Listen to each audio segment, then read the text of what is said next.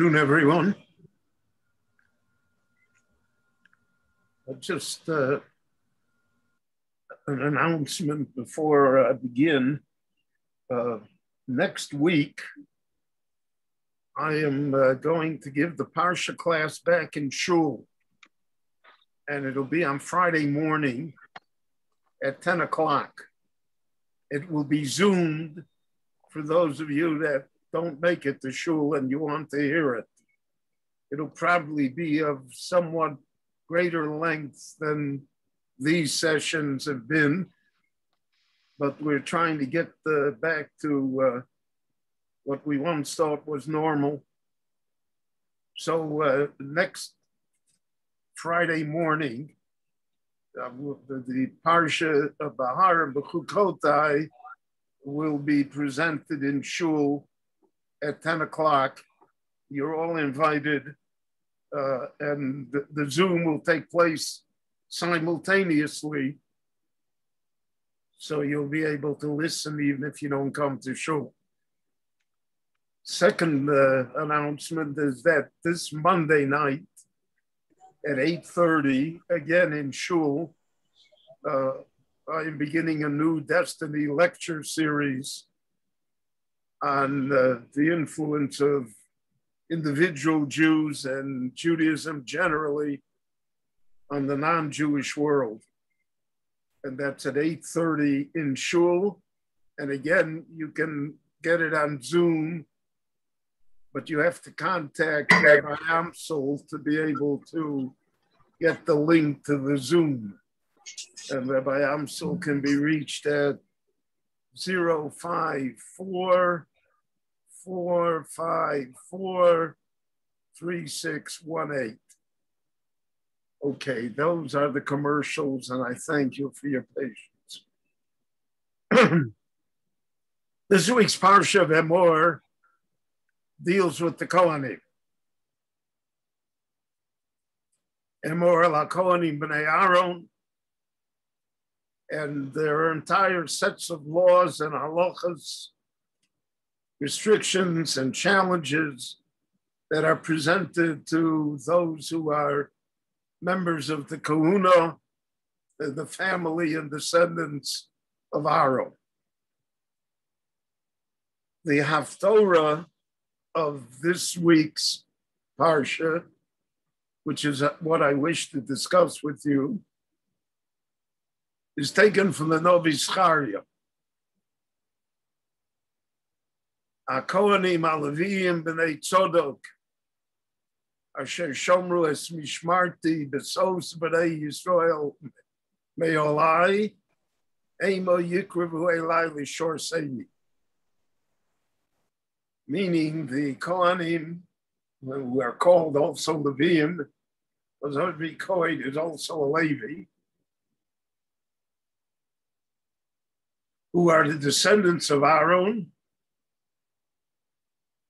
that come close to uh, worship me and serve me. And they were the ones that kept the faith. When the Jewish people wandered away from me. So I want to discuss with you the background of this Haftorah because I think it has great relevance to our time. And it also has moral lessons that all of us can easily incorporate in our daily lives and in our attitudes towards people and events. The first temple is destroyed. The Jewish people go into exile. 52 years later, they're threatened with annihilation by Haman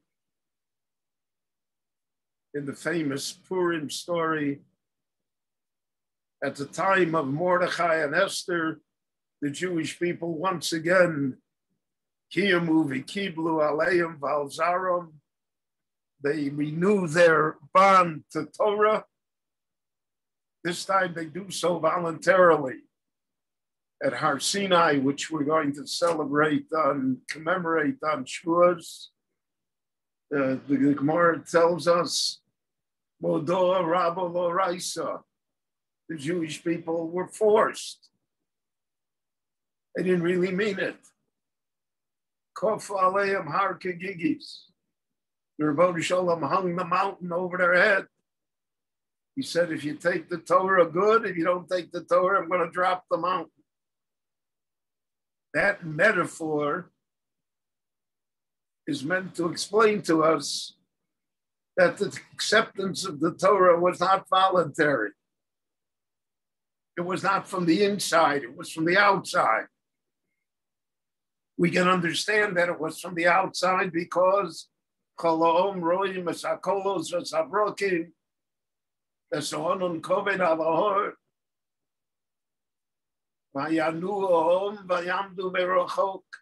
they're so overwhelmed. It's a volcano.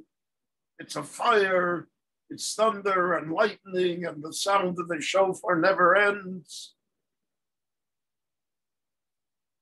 How can they say no? How can they say anything? They ran away. They stood away out of fear. And they will come back and say to Moshe, after, so to speak, the Lord had issued the first two of the Aseret Devorim, they'll come back and say, We don't want to hear anymore straight from heaven. Daberato, you teach us. You, the rest of it, you teach us. So Moshe is the one that said, Lotisa and Kabetz Avicha and Zochar HaShabbos. Moshe teaches them. They cannot bear to hear the voice of heaven. It's too overwhelming. So their acceptance of the Torah was, so to speak, with an element of coercion. It was not completely voluntary. They really had no choice.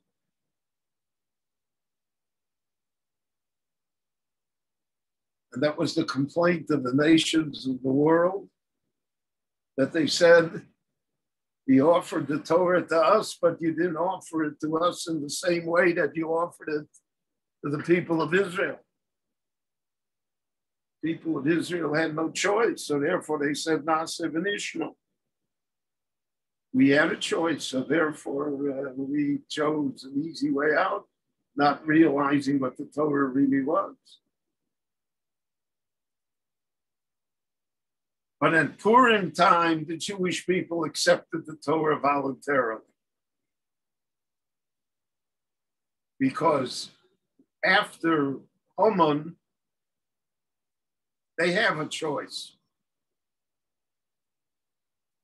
Uh, the miracle of Purim is a hidden miracle. It's not thunder and lightning.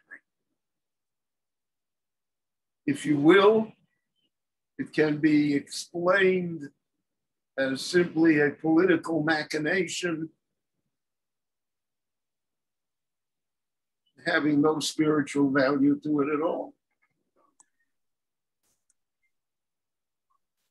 So the Jewish people have a choice. They can continue to be Jewish, but they realize there's a price involved. Price involved is there always is a Haman.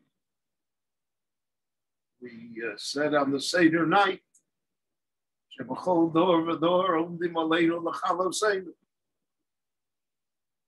always is uh, a Khomeini and a Farrakhan and all of these guys.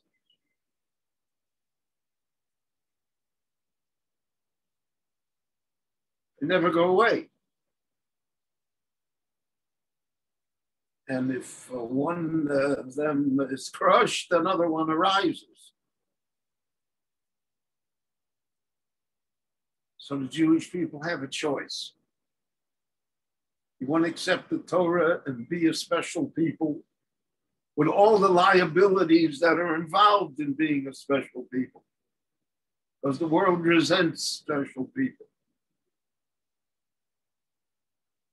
Or do you want to quit? So we read in the Novi Yecheskel that there was an element of the Jewish people that wanted to quit. They said, Beis Israel.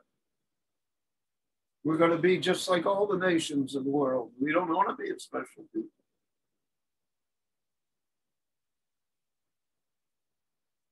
But the covenant that the Lord had made with us uh, does not allow us to uh, unilaterally withdraw that way. But after Purim, the Jewish people over Kiblu Aleim. They agreed, okay, we're going to stick with it. We're going to be the Jewish people. And if we're going to be the Jewish people, we understand the challenge that is involved. But we accept it upon ourselves because, uh, put it bluntly, we feel it worth the effort. We're happy with it. So, almost two decades later, uh, the exile ends. They have permission from the government. Then it's the Persian government that ruled Palestine to return to the land of Israel, to rebuild Jerusalem, and to rebuild the temple. And this is the time of Ezra. Ezra is one of the most dramatic figures in all of Jewish history. The rabbis compared him to Moshe Rabbeinu himself. Nitna Torah Moshe, nitna Ezra. We would not have had the Torah through Moshe, then we would have had it through Ezra. Meaning that Ezra is the second lawgiver. He's the one who rebuilds the Jewish people. He builds it through Torah Shabbat through the oral law. And he constitutes the Anshe Knesset HaGdola, the men of the Great Assembly, to help form the physical and spiritual nature of the new Jewish Commonwealth, which is to be erected in the, the land of Israel. But Ezra is met with disappointment. He thought that once permission is given and you can have open immigration to the land of Israel, hundreds of thousands of Jews would take advantage of the, of the situation, of the opportunity. they would come. Especially the mighty Jewish community of Bovel, steeped in Torah. Many great rabbis and scholars. And that community would be, uh, to a certain extent, the major community in the Jewish world for the next thousand years it would develop the Talmud, would create the entire structure of Jewish tradition and halacha.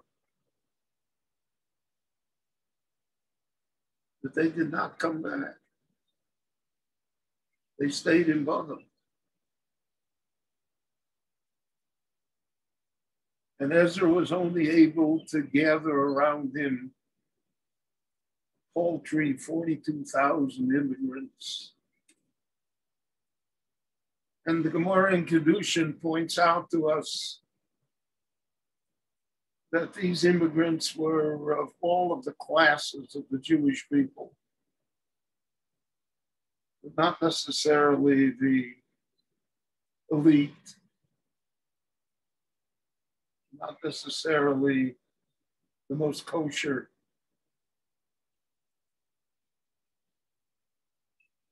The Mishnah in Kedushin says, Asora Yuchsin Olam Lebova.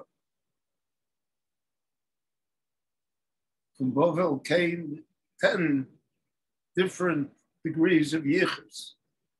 Some of them are not so honorable. Mamzerim, Gerim, Shisuki,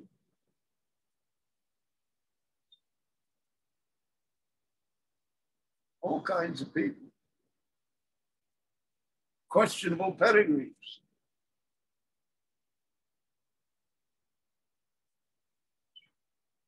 And uh,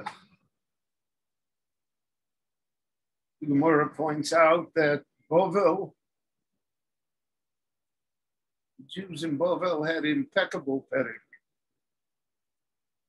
Lohola Ezra Bovel ad Shenase Bovel Solus Likia.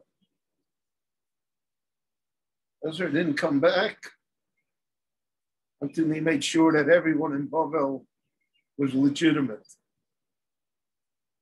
There was no question of who is a Jew in Bovel.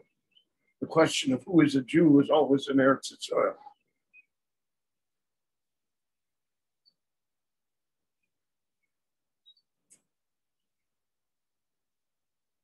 And therefore, uh, Ezra is faced with a monumental task. Now, coming back to the land of Israel, so the Kohanim have to come back if we're going to have a temple. If the Beit HaMikdash is going to function, so we have to have Kohanim and the Kohanim have to be Miuchosim. They have to be of unquestionable pedigree. They have to be true Kohanim. And a lot of things happened over 70 years. We look back at our own lifetime, we look back, the Lord had granted it to us that we could look back 70 years, we realize a lot happened. It's not the way the world was then. So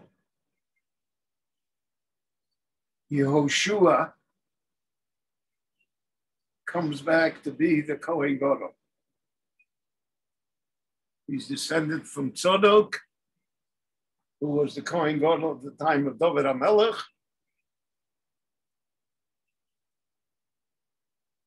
There were two streams of the family, one Tzadok and one Evyatar.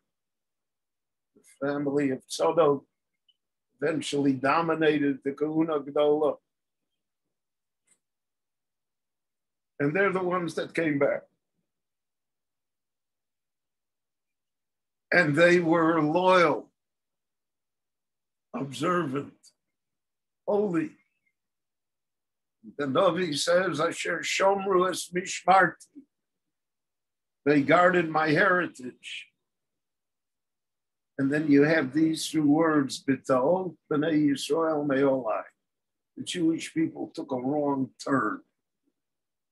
Ta'ot is to make a mistake.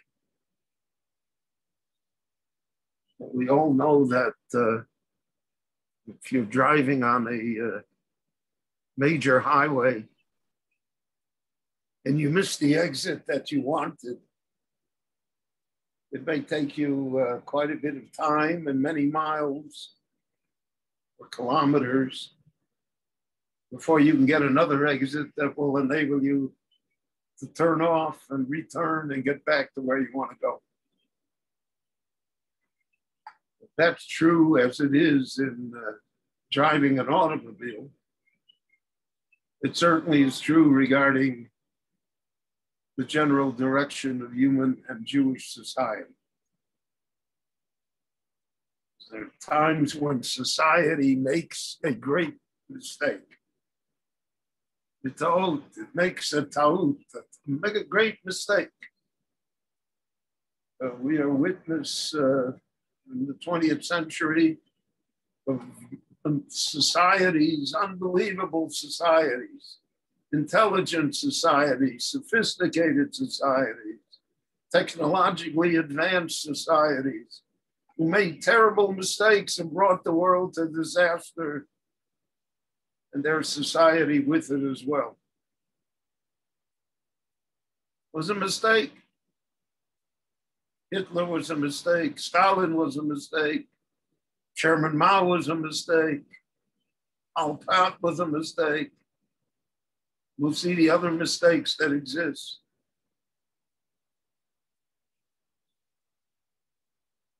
Once a mistake is made, it's difficult to get back on the highway right away. It's hard to turn it around. I mentioned often the statistic that it takes uh, an aircraft carrier in the middle of the ocean over 40 nautical miles in order to turn around. How much more so is it with the society and people where everyone has their own opinion? And people find it very difficult to admit that they made a mistake. The tragedy of human life is that people usually double down on their mistakes. Hebrew, they used to say that if koach doesn't work, then we have to use more koach. That's a uh, human failing. We invested so much in this belief, in this direction, and now we have to say it's wrong. All of the historians regarding the First World War, for instance, uh, asked the same question. The war began really in August 1914 by uh, the end of November 1914. Just three and a half months later, both sides realized that the war was almost unwinnable and that the amount of casualties suffered was unimaginable. So then why did they continue the war for the next four years?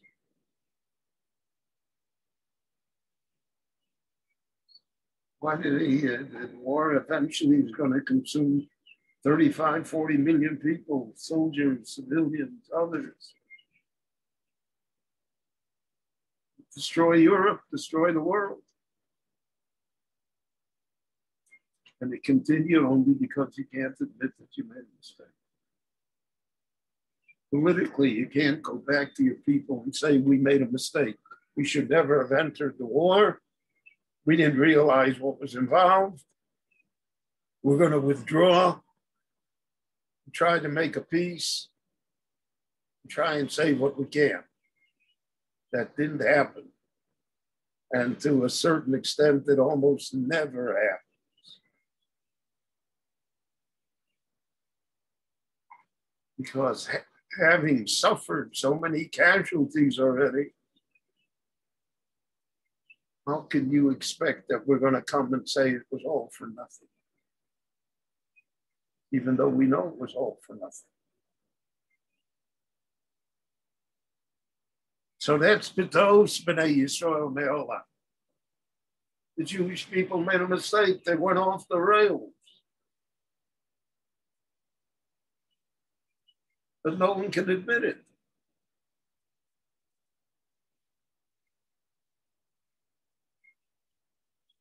Instead, we see all the divisions that exist even today. Does anyone really believe that Reform Judaism is going to be the solution? That it'll make more people Jewish?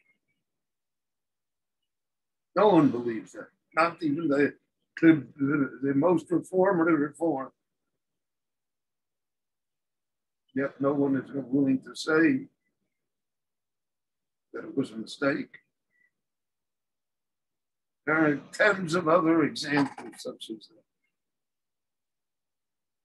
So Kohanim, the Bnei Tzodok, Yoshua, the Kohen Gadol, they remain loyal because they were the ones that, so to speak, pointed out the mistake. They were not willing to accommodate the mistake.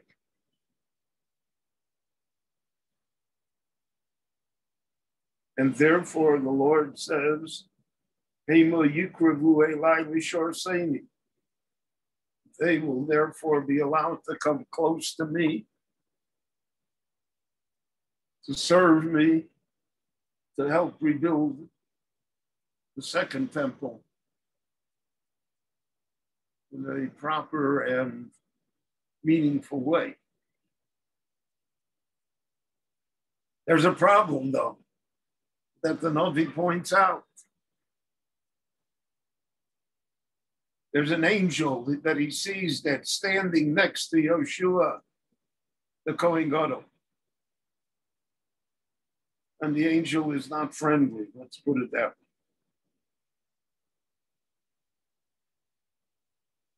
And the Satan is there. The prosecuting agent.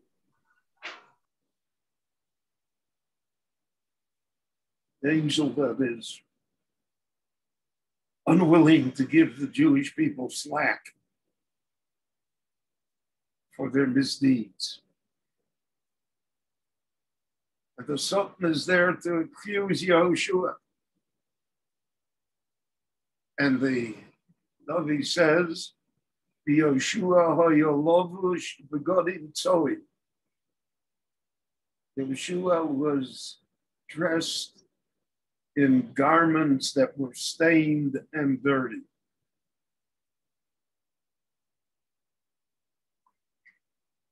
Well, the rabbi said, What does that mean? That he was dressed in garments that were stained and dirty? Is that Yeshua's own descendants, his own sons, were intermarried? Had violated the oath of the Kohanim, married foreign women. And at the time of Ezra, we read in the Tanakh that that was a very prevalent plague amongst the Jewish people. And Ezra had to rally the people to stem that tide. Unfortunately, we don't know the magic bullet that he used to do so. He was successful. But uh, the Jewish world today is ravaged by intermarriage.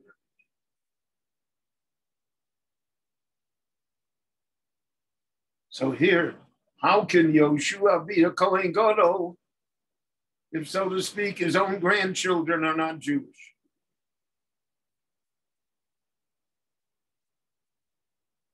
So his garments are stained.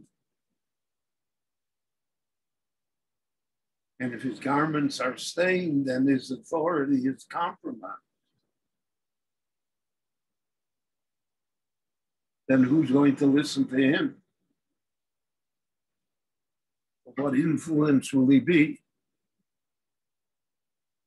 Famous statement in the rabbis that if you tell me to take, you know, the uh, sliver out of my face, I'll tell you to take the piece of wood out of your eye. Meaning, who are you to tell me anything? And we see that uh, our community is uh, not perfect. We are always overwhelmed by scandals of individuals who, uh, at one time or another, were held in high esteem in our community. We thought them to be people of influence. And now they are a liability and an embarrassment, not only to themselves, but to us. And we are very reticent, therefore, to preach to others tell others what to do when it doesn't seem to be working for us. So Yeshua is difficult, is in a difficult position. Yet the Novi says, Yeshua, you have to do it. You have to be the Kohen Gadol. It's up to you. The fact that you have personal tragedies, the fact that it didn't work out the way you wanted to, that's immaterial to the task that you are entrusted and to the goal that you have to achieve. And then there's another character who is mentioned in the Haftorah as Rubovel.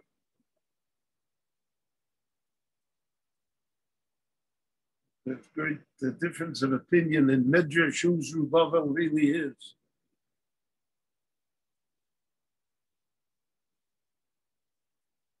But whatever uh, opinion we follow, he certainly is a descendant of the house of David and therefore he has the credentials for the monarchy over the Jewish people when they return to the land of Israel. Now, it so happens that the Persians will not allow a monarchy.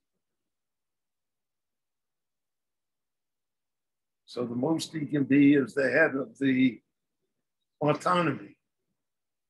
And really, Ezra, who is a Kohen, is the head of the Jewish people, not Zerubbabel.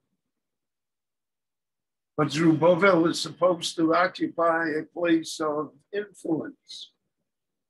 He's supposed to represent the majesty of the house of David.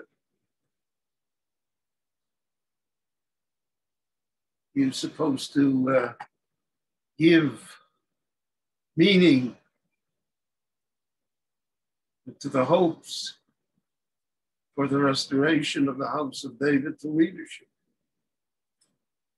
He's supposed to personify, therefore, all of the greatness that is involved in that.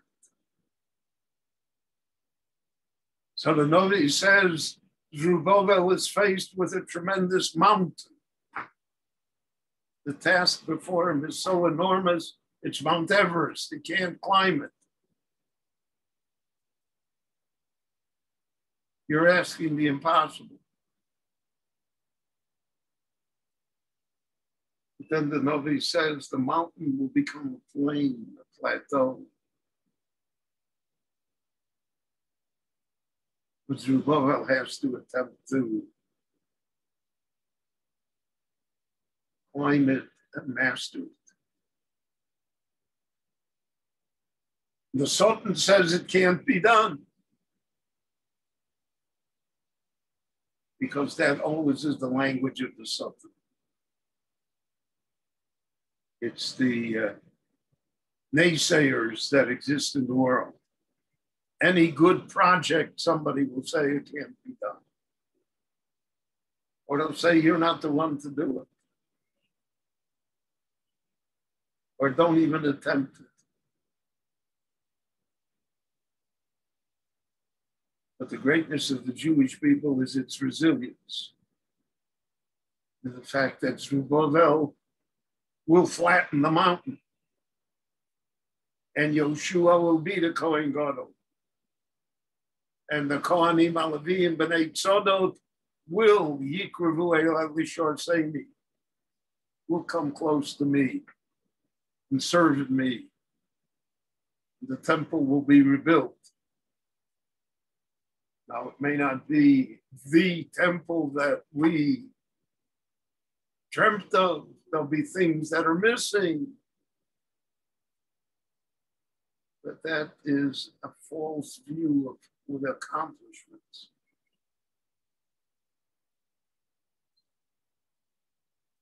Perfection always eludes human effort.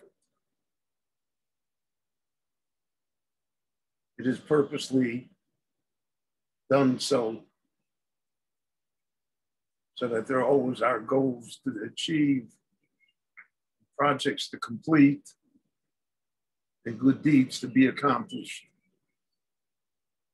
If we had a perfect world, where there's no reason to get up in the morning and do anything.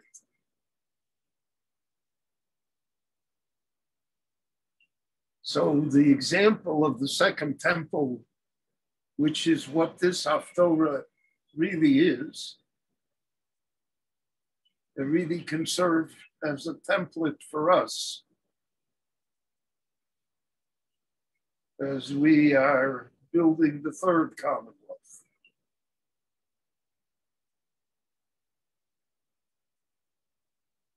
The enormous projects that exist before us spiritual, moral, political, economic, technological, security.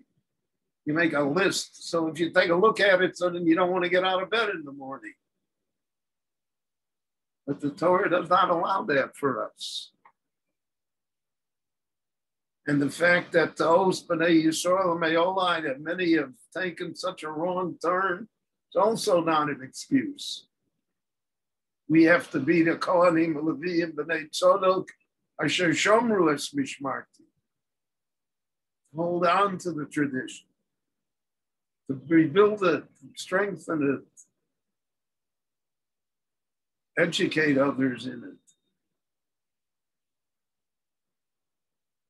And the Satan will stand and say no. And in our long and glorious history of contending with the Satan, Jewish people have the power to prevail. And we have that power too. And that therefore is the message of this Haftorah. At the end, uh, great things will happen. Now we have a Haftorah in uh, Behaaloscha about lighting the candle, lighting the menorah, which is the twin to this Haftorah. Both of them have to be seen together as one.